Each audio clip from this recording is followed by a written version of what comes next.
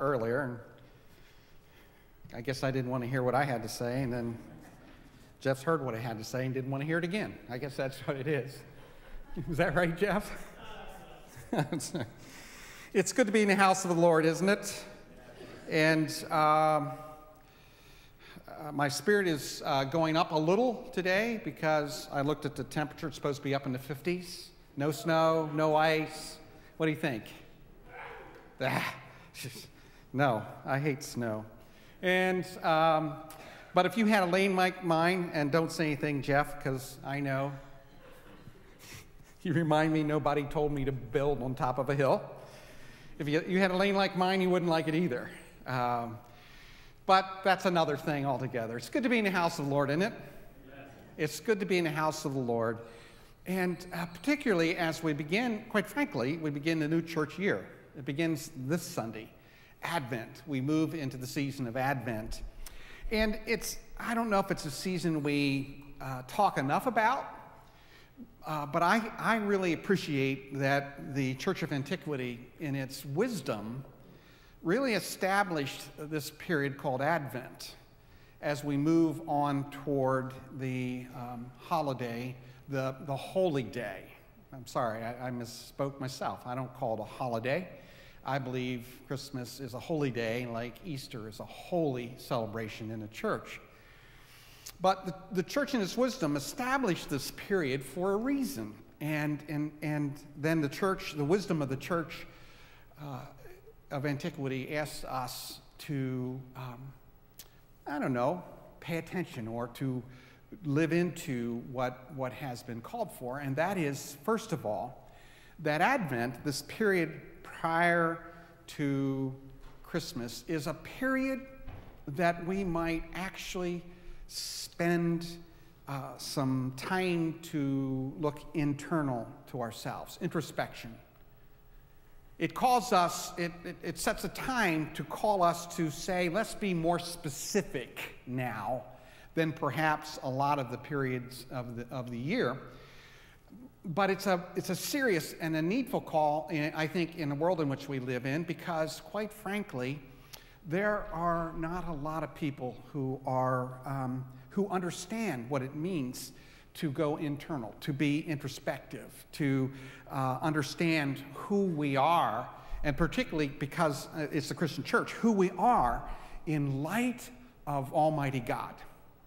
That's the guiding principle. It's not just who am I, it's who am I as a creature of Almighty God in light of that. It's a season that we are called then, not only for introspection, but it's a season we are also called to um, spend some time getting quiet, getting quiet before Almighty God.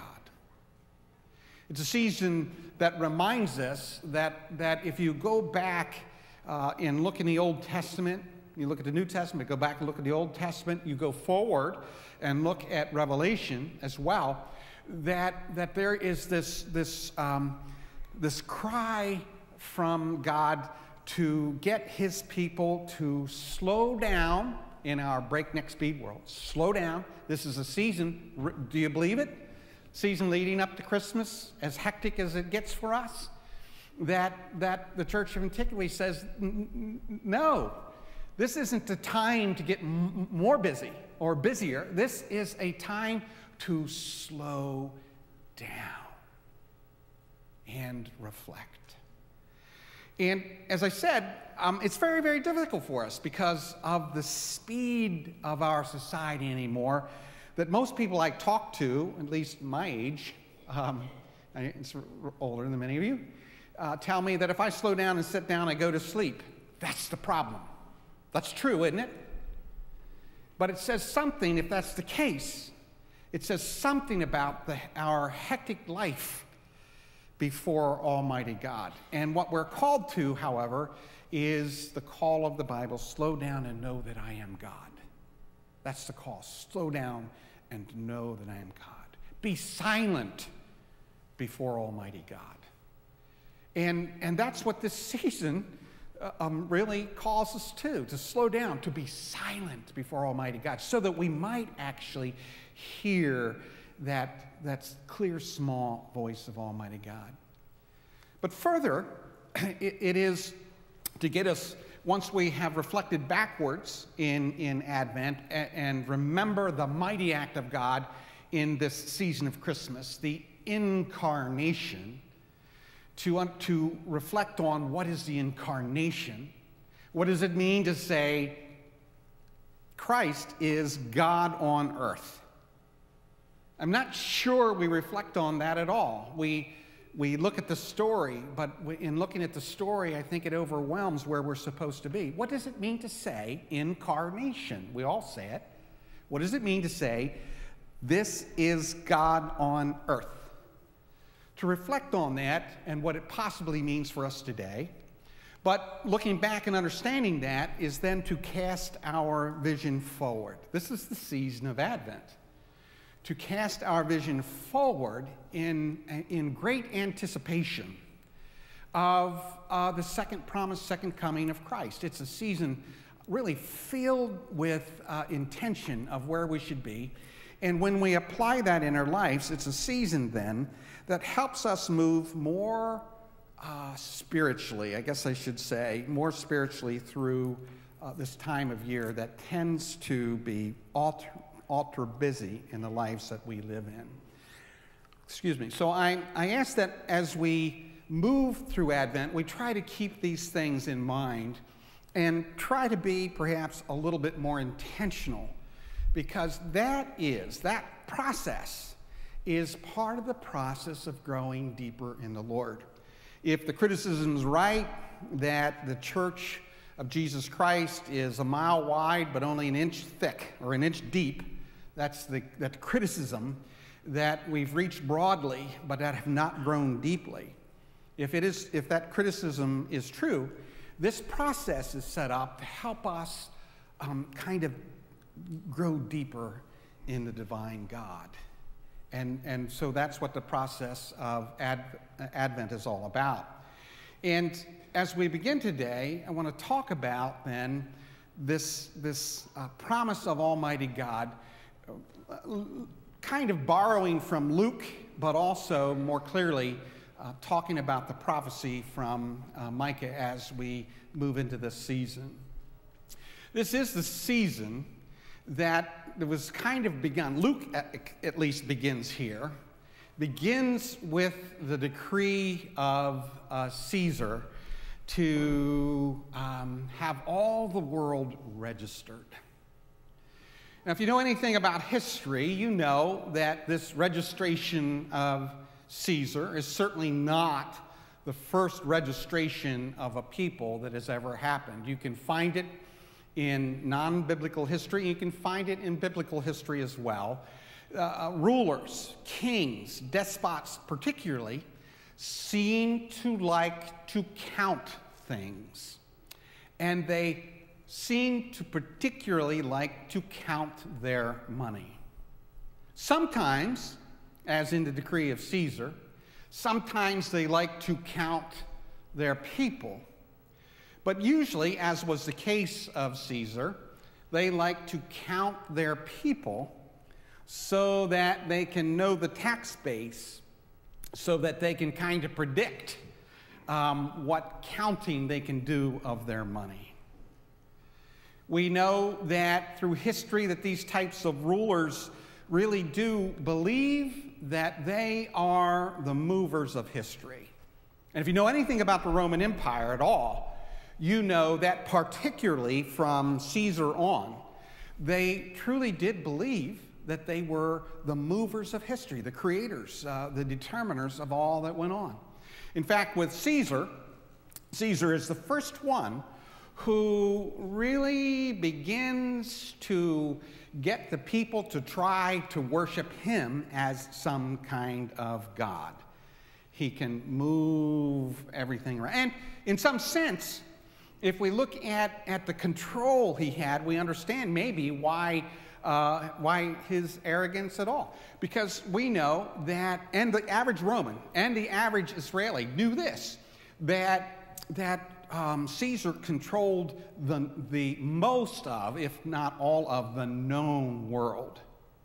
Now, we know now, as we look back at history, we know that that was the world from um, England over to Mesopotamia and a slice right through there. Um, not the entire world, but for the people of the time, it was the known world.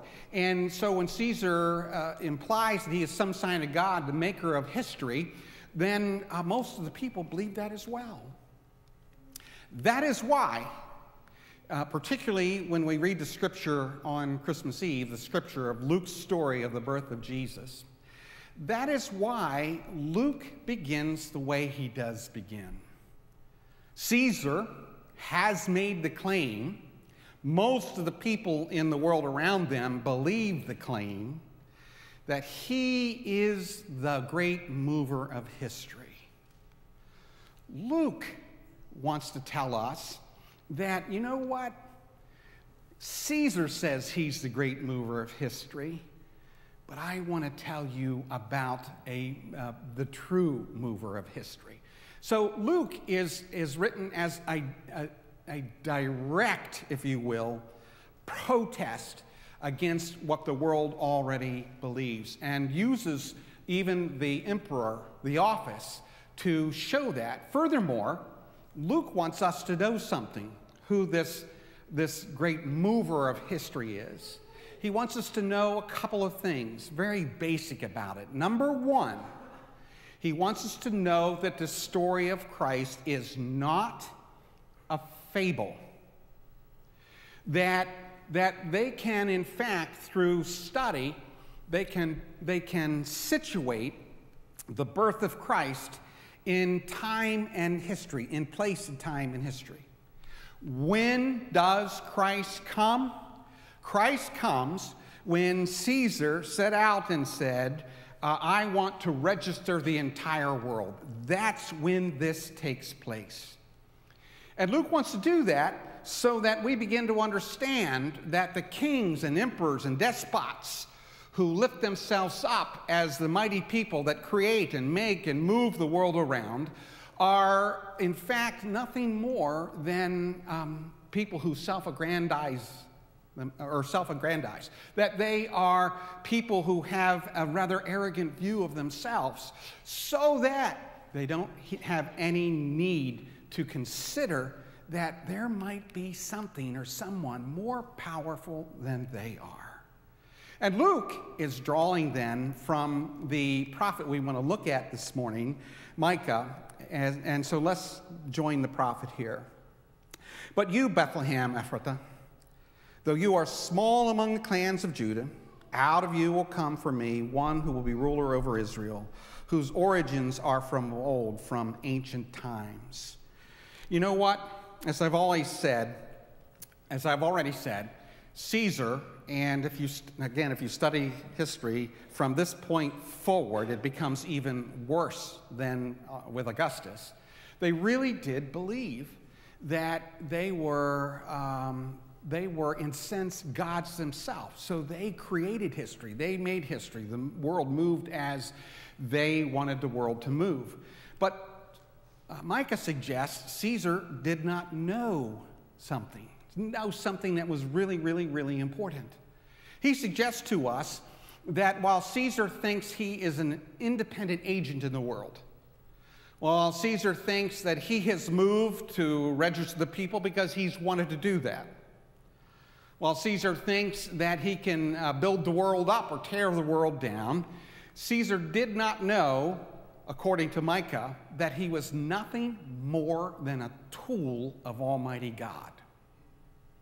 Caesar thinks he has decided all of this stuff, but Micah wants us to know that prior to this arrogant Augustus, God has already chosen the history that will be.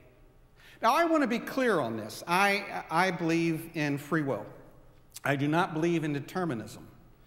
But despite that, I believe that God is able to affect what God intends to be affected. Amen? I'm, not really willing to say how. What marvels me, however, is, is that God seems to use humankind, fallible, sometimes the evil God seems to use that which is on the playing board, if you will, uh, in a way to, to nevertheless affect what God intends. So Caesar, he's moving people around so that he can count more money, but he doesn't know that he seems to be moving people around so that the prophetic word will in fact come true. He's moving people around, and what happens? According to the Bible, he moves people around to try to count them in such a way so that the prophetic word that Jesus will be born, the Messiah will be born in Bethlehem, in fact comes true. Caesar thinks he's, he is controlling, he's making history, but he has in fact only been a tool of Almighty God. Caesar does not know that there was a greater decree than the decree that he sent out. And that greater decree, according to Micah, is this is that God was in the process of doing something that would marvel everyone. And here is, here is the key, or the cue that this is taking place. What will happen is, is that this great um, Messiah of God will be born in Bethlehem. So Caesar's decree only seems to be able to move people around to get them where Micah says that they will already be. Therefore, Israel will be abandoned until the time when she who is in labor bears a son, and the rest of his brothers return to join the Israelites. He will stand and shepherd his flock in the strength of the Lord, in the majesty of the name of the Lord his God.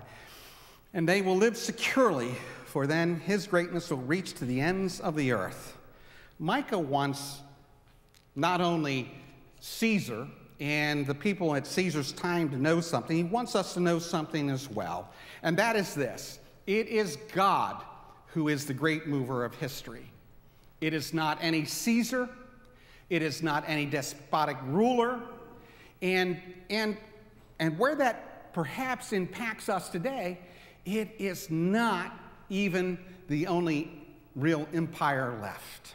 I'm not sure I agree with that, but you hear it all the time on the news that the other great powers have fallen and America has, is left on, on the playing board, if you will. I'm not sure I really agree with that, but nevertheless, we are a, a massive power in this world. And it would be good for us to understand that we are not the maker or mover of history either according to the Bible. That's a hard one for us to get our minds around who we are, and I acknowledge that, and I don't want to make more out of it than it is. It's hard for us, but if we, if we take a moment and step back and ask ourselves where, where, as we look at this story of God unfolding, where are we in the story? And because the truth of the matter is, if we place ourselves in the story of God's activity in the person of the Lord Jesus Christ, we are not the powerless Israel. We are not the little nation where other nations are controlling us. If we place ourselves in the picture here, then we have to acknowledge we are the power that makes us Rome. That puts us in a position where it's easy for us to lose the concept or the, or the belief or the understanding that maybe, maybe we are not the creators of history. Maybe, like in the time of Rome, we are tools, we are actors in this great scheme as well. That there is a greater power over us that controls the history of which we tend to forget from time to time. But the amazing thing about this story is this that Micah wanted the people to understand. I'm not sure, I'm, I'm pretty sure they did not get it, but I'm not so sure we do not get it either. Because as Israel looked for this great movement of the divine God, eh, as they looked for this Messiah that was promised, they began to look for a Messiah that looked an awful lot like the powerful Roman emperor. At the very least, he looked an awful lot like the uh, emperor, if you will, that they understood, King David. David, that great military ruler, that, that ruler that kind of uh, finally uh, threw off all the enemies and in some way got the tribes of Israel all together so that he created the most powerful nation, at least at that time, which was Israel. And, and so, as they looked for Messiah, they understood Messiah as a ruler that could control things and had the power to move things around just like the emperor in their time and day did. But, but even before the time of Jesus, the prophet says, you need to understand something, however. God's going to act in a way that, that will just kind of mess you all up. He is not going to come as another David or another Caesar or some kind of strong man ruler. That in fact, this, this Messiah is going to come in a way that doesn't serve the self, as rulers tend to do, but in a way that, that empties the self. This ruler is going to come and show us something that it's hard to get our minds around that this most powerful being in the entire universe, entire cosmos, is going to show his power in love, not in war. That the power of God that is displayed in this Messiah will be God's love. And it is love that overcomes. It is not military, it's not guns. That this Messiah will not wear a crown of, of laurel leaves like the emperor does, or a crown like David did. But this person coming, this incarnation, this Messiah of God, will instead wear a crown of thorns. That, that God's love for us will come in a way that this Messiah will suffer from the rulers of this world. This Messiah will suffer from uh, the, the evil. This Messiah will die at the hands of that for a particular reason. That this God is going to come and show us what ultimate love is all about and what ultimate love will, in fact, purchase. And ultimate love is not about lording it over others, it is about serving others and that the accomplishment will be not just the freeing of the physical bodies, which Israel really wanted from the hated Romans, but it will be freedom from the power of sin and freedom from the power of evil. But in the earliest church, very particularly, it was freedom from the power of death. Now, that does not mean, and I want to be clear on that, that does not mean, as I think I believed early on, why, why did we still die if, if Christ uh, defeated the power of death? It, there seems to be some inconsistency there. It doesn't mean that we don't die. It means this that prior to Christ, uh, there was hardly a notion, it was beginning to develop, but there was hardly any notion that there was any existence beyond the grave at all. Therefore, the power of death was the greatest power that the people um, dealt with. It was final, it was nothingness. But the church understood that what happened is, is that in the death and resurrection of Christ, the power of death itself was canceled because in that gift of eternal life is the resurrection of the soul. Amen? In that power of Almighty God canceled death in that it was that power that controlled all things darkness, nothingness. Instead of darkness and nothingness, there is light in the Lord Jesus Christ. There is existence in the presence of Almighty God. There is the presence of which uh, we all hope for and long for, and is the outcome of our faith in that same Lord Jesus Christ. But if Caesar felt his decree was that which could make history and move history, and if Micah wants us to know that there was a more powerful decree before that, there is a decree that I think that we tend not pay as much attention to. And that's the Christ's decree for his church. And that decree is this that we are to go and to make disciples. This whole salvation thing is not something for us to be glad that we have received and do nothing with. We are called, not, not called, we are sent, as in a decree from Jesus himself, to take that which has been given to you by no effort of your own, by the effort only of Almighty God, by God's will and God's desire, to take that into the world so that we might be a part of the kingdom of God, kingdom building, that we might be a part of that which creates a great multitude of witnesses in the name of the Lord Jesus Christ. Amen.